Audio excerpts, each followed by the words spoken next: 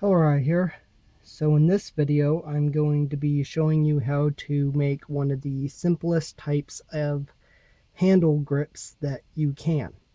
This requires the least amount of materials at a bare minimum. It only requires twine and scissors. But there are some extra things you can do. Now you'll need a twine that at least has two strands, uh, preferably three strands or even four strands. While I don't really have a handle that I need to wrap right now, I can demonstrate on this, although I won't be doing some of the um, final things to it because I don't want to make it permanent for this handle. I like this magnifying glass handle the way it is.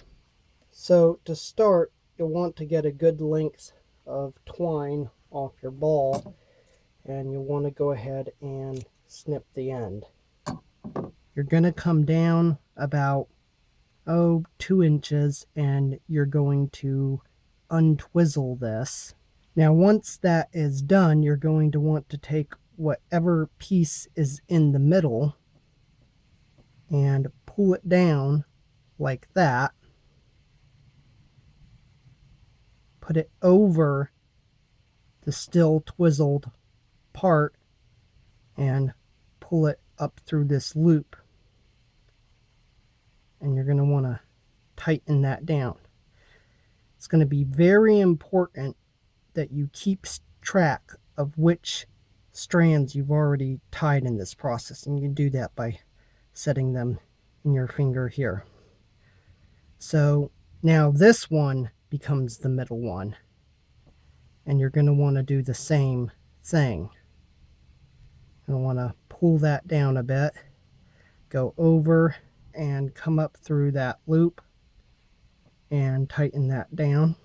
Take the piece that you just tied and hold it in your other two fingers and then the third piece you're going to want to do the same too and at this point you can kind of let go of the other two pieces because you know which one you're working on. Now, once you have that third piece cinched down, you can pull these two pieces back, hold it with the rest of the twine, and go ahead and snip that there. And you should end up with something that looks like this.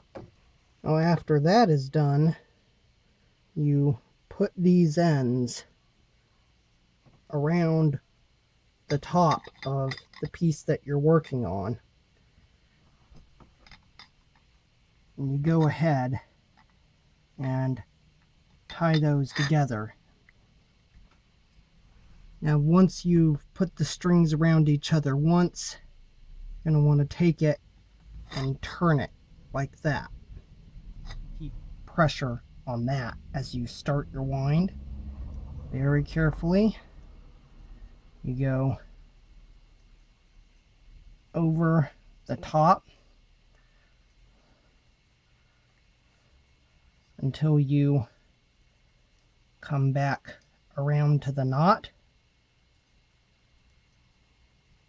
And then you go underneath. And this is where you want to start to pull tightly as you wind it can hold the knot down and really tug on that to tighten it up. And then you just begin winding like this and these little ends here from your knot, you can just go over those. So as you wind, you want to keep your thumb pressed down as a kind of guide. This is sort of the way you want to hold your hand which will make sure that each go around is laid tightly on the handle and snugly against the coils on top of it.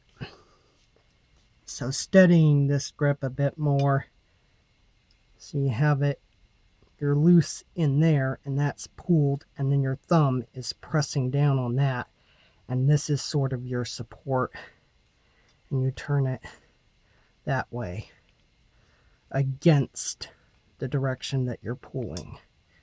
As you get to the end, you might want to switch the grip to make it easier to take it all the way to the end. Now, once you approach the very end, you're going to want to come in and snip your string. You're going to untwizzle this like you did for the top. And this can be difficult because you have to hold everything down while you're doing it. Now you'll take one strand, any strand, and you'll come back and then you'll tie these together. We'll tie these two with this one.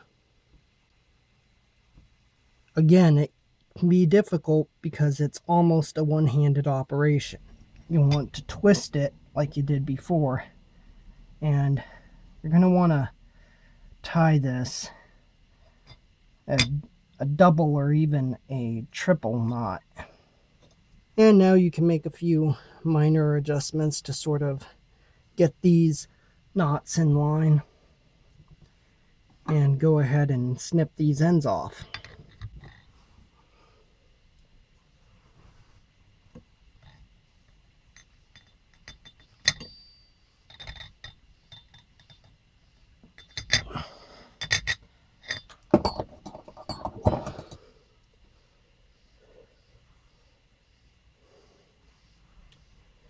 Now, if I wanted to make this permanent, the next thing I would do is I would take a bit of uh, Pliobond here. It's an all-purpose adhesive. I find it's wonderful. It sets up rather quickly.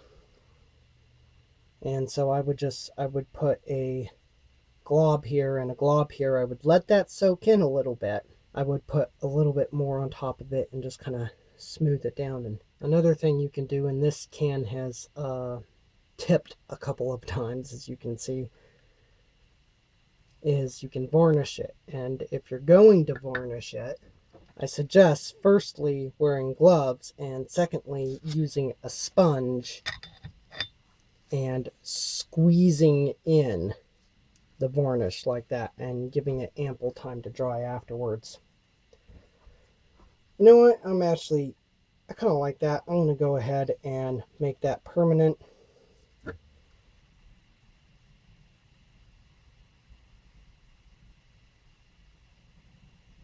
Now you can see after about 90 seconds it's soaked in a lot from the initial large globs that were on there and it's become sticky. So now I know it's time to go ahead and put a little bit more on there. And go ahead and smooth that down a bit. And then I'm going to leave that alone for about five minutes. If it's a little loose at the bottom from correcting the alignment of the knots, you shouldn't really worry about that too much because most of it is going to be tight and the Pliobond, once it dries, is going to hold that in place.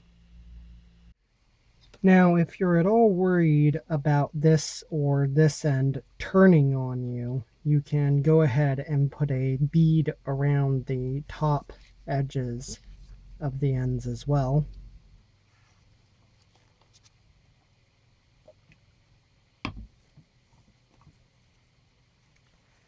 Get the sponge wet and I'm gonna start squeezing in that varnish.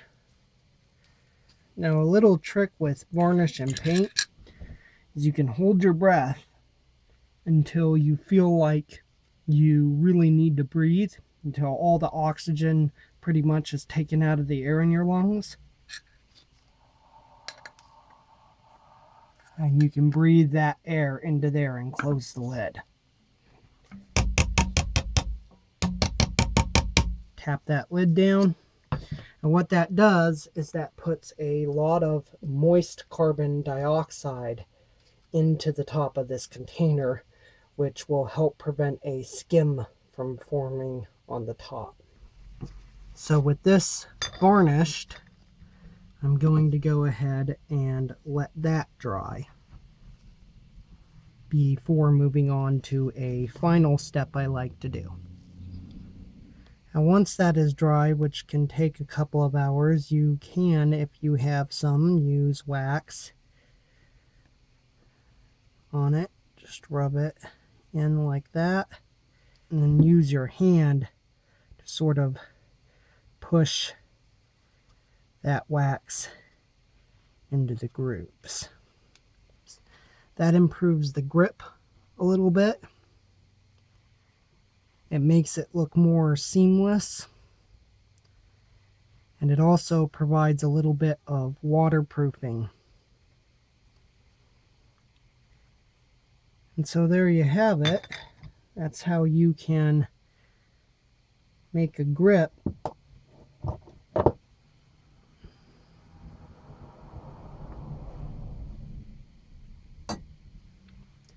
that is pretty cheap and pretty easy and fairly quick to do over something more complex like this.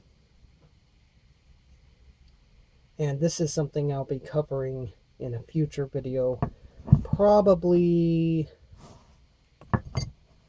going to give this hammer a grip on it like this one here. All right. Have a good one.